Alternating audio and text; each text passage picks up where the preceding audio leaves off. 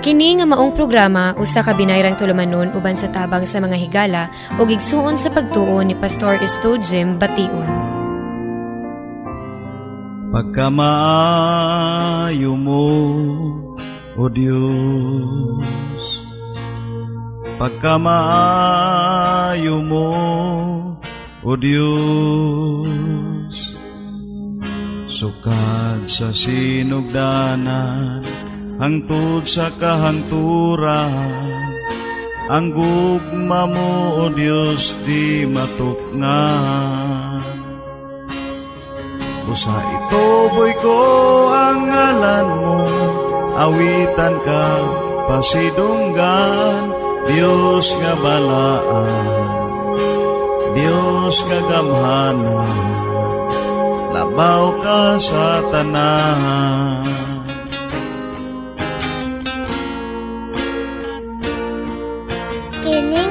programa gihatod kaninyo sa Estudyong Bation Radio Ministries Incorporated.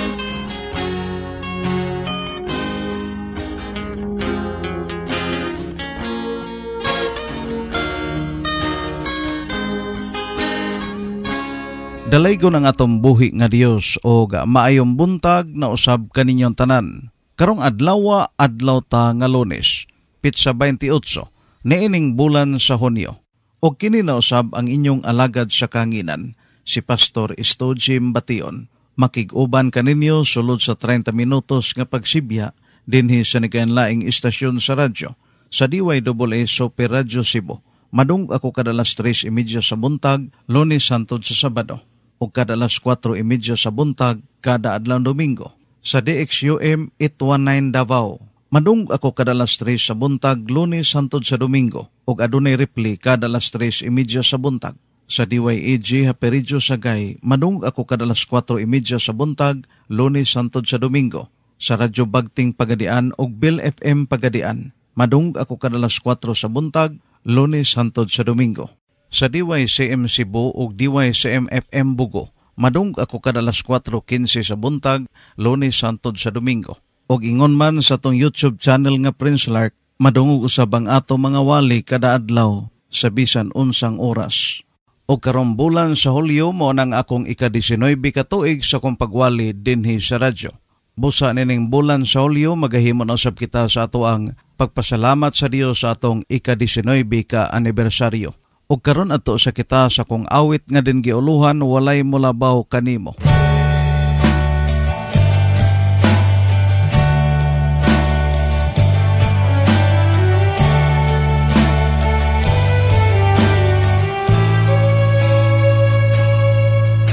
Walay mulabaw kanimo Ginoong Hesus Walay mulabaw kanimo Ginoong Hesus Ang ngalan mo kahibulungan. Walay mulabaw kanimo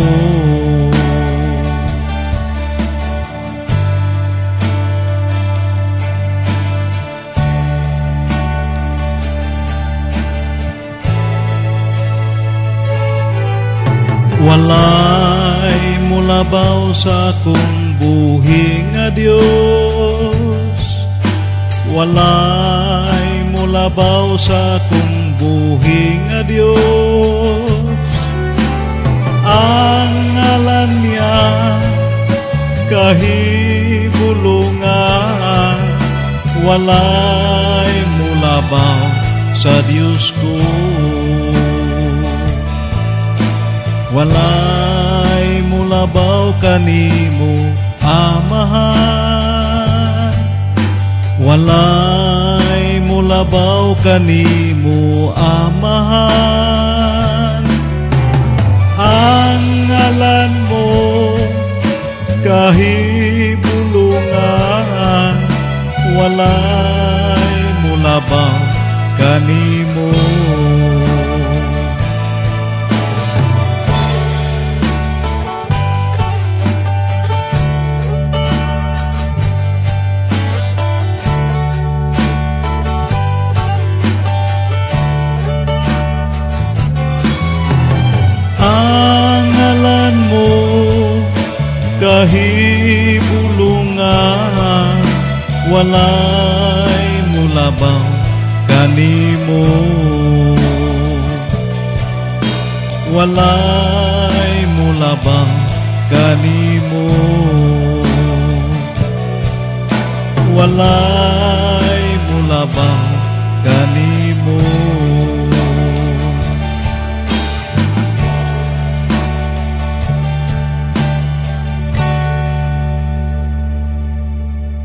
Walay mulabaw kanimo. Nindot kaayo ang mensahe sa maong awit. O karon tugutin usab ninyo ako sa paghulam sa inyong panahon o sa inyong igdulungog alam na usab nining ato mensahe. Kung bala nung pulong nining takna nga tumabasa sa basahon sa Mateo, Kapitulo 26, versikulo 31 hantod na sa versikulo 35 giingon din eh. Unya mingon si Jesus kanila niining gabi una kamong tanan managan og mamiya kanako Kaya ang kasulatan nag-ingon, patyon sa Dios ang magbalantay ug magkatibulaag ang makarniro. Apan tapos ako mabanhaw, muuna ako kaninyo sa Galilea. Si Pedro mingon kang Hesus, dili gayud ako mubiya kanimo bisang pagbiyaan ka sa tanan. Si Jesus mingon kang Pedro, hinomdumi kini. Sa dili pagani mo tutugaok ang manok karong gabi, ilimod mo na ako sa makatulo. Si Pedro mitubag, dili ko gayud ikaw ilimod bisang pagpatyon ako uban kanimo ug ang tanan tinun-an nanumpa usab sa ingon. Mao kini nga to mensahe kun bala anong pulong nining takna o kini giuluhan gitagna ni Jesus ang paglimod ni Pedro. Magampo ta og manghilom lang tanan samtang magahimo ako sa pagampo. Ulangit no namong amahan Dios nga balaan. Ani ano sab kami nining taknaa sa sayo nga kabuntakon. Amo no sab kang gipasidunggan ug among gipasalamatan nining lain no sab nga adlaw nga imong gipasinati kanamon tanan. O Dios aniya na usab kami karon. Migahin og panahon sa pagtuon og pagpamalandong sa balanong pulong din amo nakaplagan dinhi sa basahon sa Mateo. Ablihin na usab o Dios nga amo makasing-kasing karon andama kini nga mahimo na usab nga kapugsan ini nga mo mapulong aron nga kanunay kaming tanan padayon gayod nga magkinabuhi uyon sa imong kabubuton o nga kaming tanan makabaton gayod sa kadasig ug kalipay diha sa mong pagpadayon sa pag-alagad kanimo. O Dios panalangini ang tanan naminaw karon labi na sa makatawhan nga malipayon o kinasingkasing nga misuporta nining bulhaton nga naghatod sila ikapulog mga halad aron nga kini nga mong pagsibya mapadayon gayod. Akong giampo Dios nga ikaw magaamping sa ila makinabuhi uban silang tibok pamilya. Og panalangin ni usab ang makatawhan nga kanunay nagpaluyo sila mapag-ampo. Alang kanako alang nining bulhaton. Panalangin ni usab ang masibyanan sa radyo nga akong giwalihan kada adlaw uban sa mga technician, mga kawani o tagdumala. Panalangin ni usab ang among website ug ang among YouTube channel ug panalangin ni ang tanang Kristohanon sa tibok kalibutan labi na ni ato nagawali sa imong pulong ug pasayloa kami sa among makasalanan. O Dios, dalaygon ka sa walay katapusan, salamat sa pagkamaayo. Sa ngalan ni Ginoong Kristo, ang tanan mag-ingon. Amen. Ang ato minsay karon makaigsuunan, kinigiuluhan, gitagna ni Jesus ang paglimod ni Pedro. Mga igsoon adunay panahon nga si Pedro ug ang uban pa nga mga tinunan sila wala mo angkon sa Ginoo nga sila mga sakop sa Ginoo sa diha nga sila gibati nagkahadlok sa diha nga ang Ginoo gidakop na sa mga sundalong Hudiyo. Ug sa wala pa kini mahitabo mga igsoon gitag-an na kining daan sa Ginoo nga kini mahitabo gayod. Tungod kay kini nasulat naman sa kasulatan nagapasabot ka na nga kung unsa ang isulti sa Dios kini matuman gayod bisan pa kon ang maumapulong gisulti sa Dios pinaagi sa mga lagad o mga propita. Nanita ni atong gibasa karon dinhi sa basahon sa Mateo kapitulo 26 bersikulo 31 hantod na sa bersikulo 35 giingon din eh. Unya mingon si Jesus kanila niining gabi una kamong tanan managan ug mamiya kanako Kaya ang kasulatan nag-ingon, patyon sa Dios ang magbalantay ug magkatibulaag ang makarniro. Dinhi mga igsoon sa bersikulo 31, gisguta ni Ginoong Kristo ngadto sa iya napulog duha ka matinunan nga niadtong gabi una diin ilang gihimo ang katapusan nga panihapon sa Ginoo. Mingon ang Ginoo nga karong gabi una kamong tanan managan ug kamo mubiya kanako. Og mipadayon ang Ginoo sa pagsulti Matod pa niya nga kini mahitabo kay kini mauman ang nahisgutan sa kasulatan. Matod pa sa kasulatan, patyon sa Dios ang magbalantay og magkatibulaag ang makarnero. Mga igsoon kung ato mabantayan, nining gisulti sa kasulatan, matod pa din patyon sa Dios ang magbalantay. Ang magbalantay mga igsoon, mao si Ginoso Kristo. Magbalantay siya sa makarnero. Sa ato pa si Ginoso Kristo, mao gyud ang atong labaw nga pastor.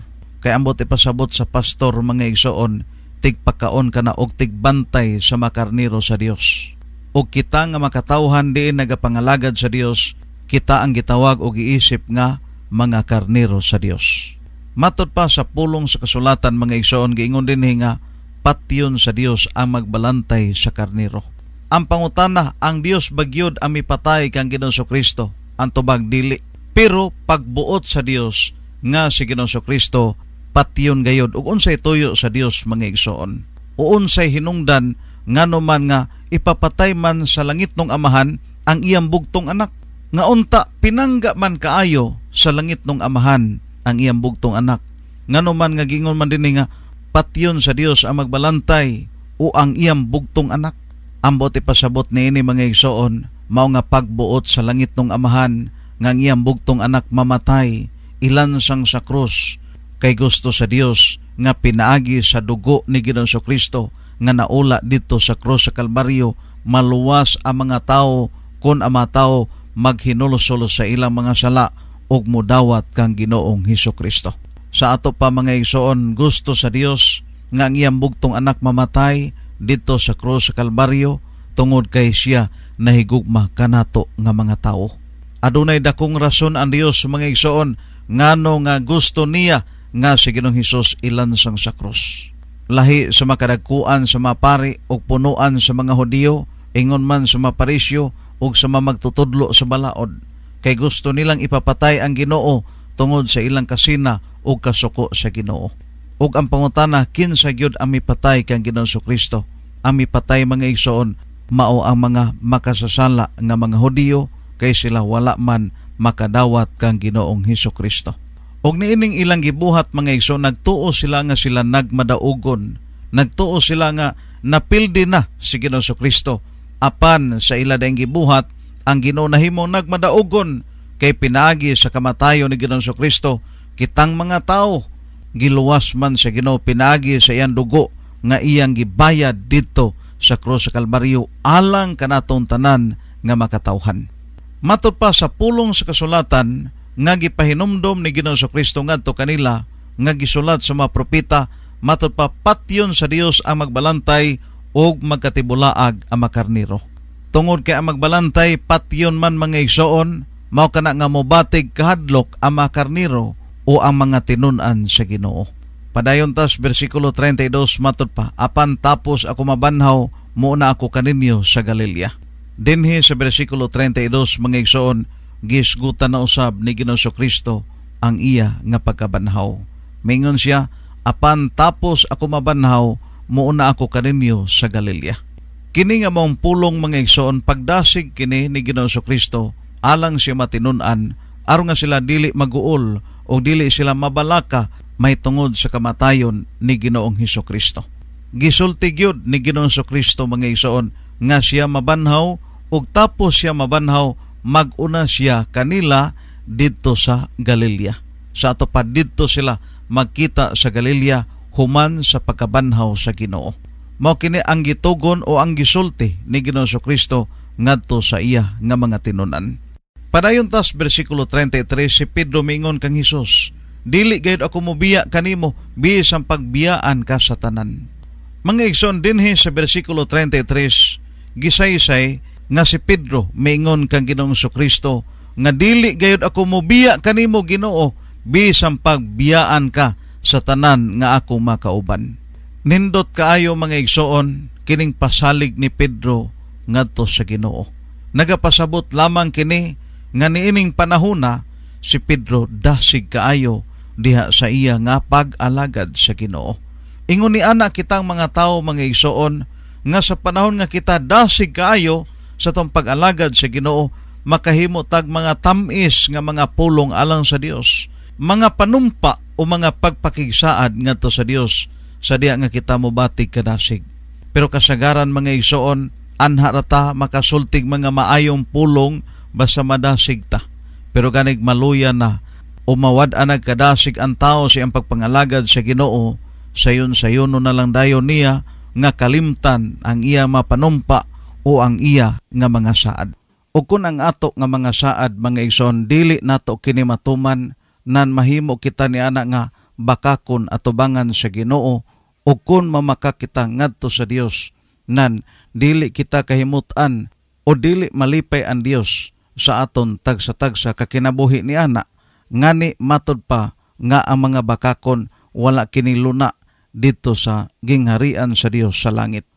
Matod pa sa Proverbio kon panultihon kapitulo 12 bersikulo 22 gikasilagan sa Ginoo ang mga bakakon apan gikahimut-an niya ang matinod-anon. Niini nga mong bersikulo mga igsoon gisgutan nga dili gayod malipay ang atong Ginoon Dios ni ato mataw nga magsulti kanunay dili mga tinuod o magsulti kanunay mga bakak ug matod pa dinhi mga igsoon nga gikasilagan gayod sa Dios ang mga bakakon. Ambot ipasabot ining pulo nga nasilag sa ato pa labihang sukua. Mao kana nga dili angay nga atong pasukon ang Dios mga igsoon. Mao kana nga dili maayo nga kita maghimog mga panaad ngadto sa Dios ilabi na kung dili nato matuman. Sama pananglitan kung ikaw nadasig sa pagpangalagad sa Dios dayon gusto ka mo tabang sa bulaton sa Ginoo ayaw na pagsaad. Modritso na lang kagtabang aron nga ikaw kahimutan sa Dios o malipay ang Dios kanimo o dili siya masilag o dili siya masuko kanimo Padayon tas bersikulo 34 matod pa si Sos mingon kang Pedro. Hinomdumi kini. Sa dili pagani mo tuktugaok ang manok karong gabi eh. Ilimod mo na ako sa makatulo. Mga dinhi sa bersikulo 34 gisulti dinhi ni Ginoong Kristo ang iyang tubag sa gisulti ni Pedro. Kay si Pedro mingon man nga Ginoo di gyud ko mubiya nimo bisan pagbiyaan ka sa tanan ang gitubag sa Ginoo kaniya matod pa sa Ginoo Pedro hinumdumi kini sa dili pagani mo tuktugaok ang manok karong gabi eh, ilimod mo na ako sa makatulo. Dinhing bahina mga igsoon ato na sayran nga ang Ginoo masayod gyud sa umaabot nga panghitabo. Mao kana mga igsoon nga ang atong Ginoo di gyud pwede malimbungan nganuman bisag wa pa mahitabo ang maong panghitabo matag-ana ng daan sa Ginoo. Sa ato pa mga igsoon kana manaad kita sa Ginoo, manumpa kita sa Ginoo dili gyud na siya dawaton sa Ginoo. Nganuman tungod kay kita gumataw mga igsoon limitado lang ang ato mahimo. Dili ta perpekto nining kinabuhi ah.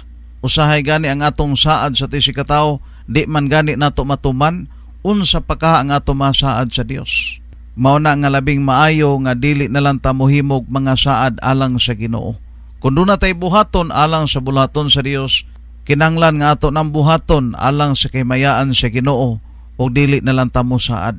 Sama pananglitan sa pagtabang sa buluhaton sa Ginoo.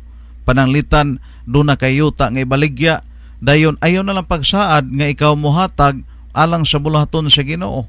Aron nga ikaw dili mahimong bakakon. Ang imo na lang buhaton magampo ka nga ang imong yuta mahalin kini unya sa diha nga duna na halin unya gihikap ka sa Ginoo nga motabang usa pa ka mohatag dili kay mo saad ka unya nigabot na sa kwarta mausob ang imong huna-huna, di na nimo matuman ang imong saad. Mga igsoon mo ni ang kasagaran nga mahitabo natong mga tao.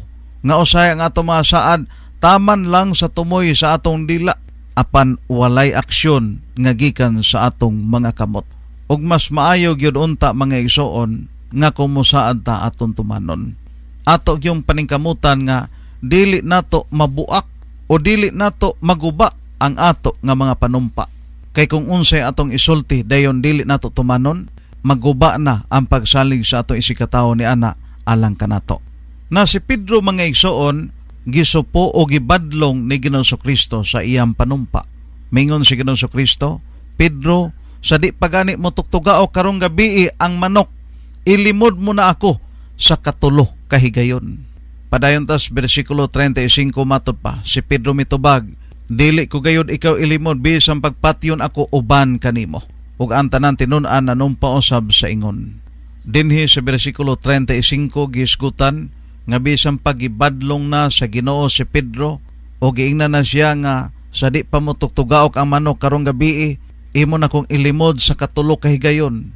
Pero tungod sa kadasig ni Pedro ni atong panahon na mingon siya mga igsoon, dili ko gayod ikaw ilimod bisan pagpatyon ako uban kanimo. Misaan gyud siya mga igsoon nga di siya molimod nga siya kauban ni Ginoong Kristo.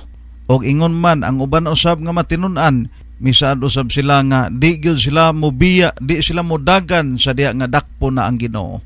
Og apil usab si Judas Iscariote mga igsoon nga misaad niini nga siya di gyud mobiya sa Ginoo. Aron nga siya dili mailhan nga siya mao ang magbudhi o motraidor sa Ginoo. Pero ang tanan mga igsoon nahibaw na sa Ginoo. Nining bahina mga igsoon makaingon kita nga diha sa Ginoo wa gyud matago. Ang ato pala mga plano wa pa nato buhata nakita na ng tanan nasayra na na sa Ginoo. Mo na nga sa atong kinabuhi mas maayo nga ang ato mga plano ang ato mga tinguha mga maayo aron nga ang atong Ginoong Dios mahimaya o malipay siya nga magsudong sa atong kinabuhi. Mga igsoon sa panahon nga kita dasig sa atong pagpangalagad, daghan kitag masulti nga mga pulong sa pagpakigsaad sa Dios. Pero kasagaran ni ini di nato matuman ug ang ato mga saad taman lang sa tumoy sa dila. Mao kana nga di ta mo saad kay basin unyag mapakyas rata o masipyat ug mahimo hinuon kang bakakon atubangan sa Ginoo ug ato hinumduman nga walay luna ama bakakon didto sa gingharian sa Dios. Karon panahon usab nga kumagahimo sa pagampo akong gangyon tanan sa pagpangluhod atong piyungon nga ato mamata. Dunay balatian ihika pang imong kamot sa radyo. Niaton dunay problema isalig sa Dios ang tanan. Ang tanan ninyo nga publishingan andama na kay maghimo no sa bako sa pagampo. Uban sa awit nga naguluhan sa diyo tayong hikap mo Ginoo og sinatia si Ginoo Kristo ang ato mananambal kay walay dili mahimo sa Dios. Siya mo ayos mabalatian mo sulbad sa mga problema, magtagbo sa tanang panginanglan ug magtubag niini nga maong pagampo. Sa Diyutang hikapugi Amahan namo nga langit nun Dios nga balaan mapasalamaton kami sa mga pulong nga mo natun-an karon og napamalandungan. Salamat o Dios nga mo nasayran nga ikaw dili malipay sa mga bakakon. Busa tabangi kami nga kami makatuman sa amo mapanaad aron nga kami dili mahimong bakakon sa imo atubangan ug ikaw malipay kanamo. Ginoo pasaylua kami sa tanan amo makasalanan sa pulong sa naunag sa buhat. Huga si amo makasing-kasing ug himo kining putli o hinlo sa imo atubangan. Og panalipdi kami kanunay kurala sa imong gahom iiway sa nandagway sa makadautan ug sulbarang amo mga problema. Tagbo usab amo mga panginanglan ug bubui kami sa imo mapanalangin labi na sa makatawhan nga malipayon og kinasingkasing nga nagatod sila ikapulog mga halad ug ang pingi o Dios ang ilang makinabuhi uban silang tibok pamilya panalangin ni ang buhat sila makamot sa mas pagpamaol, pagpanagat negosyo, pagpamoy kayupan, ug uban pang inadlaadlaw mapangita o mapagpanarbaho. Ug ayuha o Dios ang mamasakiton nga dunay sakit sa kanser, goiter, COVID-19, ulcer, high blood leukemia, sakit sa kasing-kasing, diabetes, insomnia, sakit sa baga, sakit sa atay, sakit sa kidney mayuma, Obo, sipon hilanat, mga grabe ginagmay masakit ayuha o Dios gikan sa ulo hantod sa lapalapas sa tiil ug pinagis gamhanan nga ngalan ni Ginoong Kristo. Akong giabog o ginginlan ama datang espiritu masakit o mabalatian. Gula ka mo pawa sa ngalan ni Ginoong Kristo. O Dios, milagruhi ang kada usa maluoy ka. Ug bag-uha sa impit ay mo makatawhan ug himuang ang tibok pamilya maghiusa sa pag-alagad kanimo ug hatagi kalinaw ang panimalay. Ihataw sa bangkalinaw ni amo nasod nga Pilipinas. Sa Luzon, Visayas, Mindanao sa tibok kalibutan, labi na sa nasod sa Israel. Ipelayo kini Dios makasamok makatalagman mabalatian sa magubat o kapobrihon. Ug amo sang giampo ang kaluwasan sa daghang makatawhan gikan silangan kasad pa namihan ningon man sa bagatan humukan damay la makasing-kasing aron nga sa diya nga sila mawalihan sila mo tuo ug moalagad kanimo o kaloy o Dios og panalangini ang tanang gipublishingan sa imo makatawhan nga ang tanan mahimo gayud nga milagroso og epektibo silang paggamit niini sama sa lana blessing cloth healing cloth mga tubig mga herbal mga medisina uban pa. Og itugot usab nga sa matag adlaw gabi labi na nining adlaw lunes nga imong tabang kaloy grasya pagpanalipod pagpanalangin amo na usab nga mambitan sa ngalan ni Ginoong Kristo. Amen. Thank